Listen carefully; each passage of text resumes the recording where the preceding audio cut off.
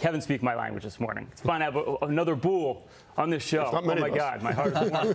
um, but I, I do think that, and I pray every night for a Fed pivot. You know, I pray to the equity gods. um, but but I think it's realistic, right? I mean, at this point, you're starting to see commodity prices come down dramatically. We saw prices paid come down on that ISM number, which is you know very disinflationary. Disinflationary.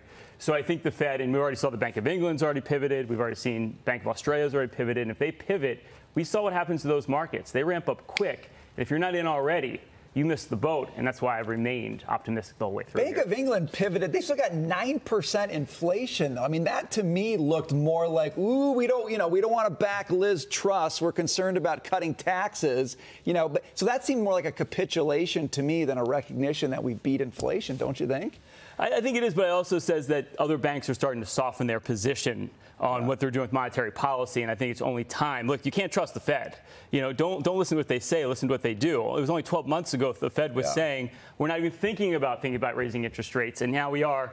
You know, 12 months later, and they're talking about how they have to keep raising interest rates. I suspect here, you know, at some point they're going to balk. Market is still down 30% year to date. If you look at the, the NASDAQ, uh, the Dow about 20%. What are you buying? Are you buying those beaten up tech stocks? How, how are you allocated since you've been so bullish on this show for so long? Well, I have. My diversified portfolios are down much less, by the way, more like 10% for the year because value stocks aren't down as much. If you look at uh, commodity prices are up. I, I think you have to diversify away from tech because the winners of the last 10 years are not the winners of the next 10 years, and that's a mistake I see. I look at like 50 new portfolios a month. Investors too too much in the growth trade. Inflation is going to come down, but it's still going to stay high.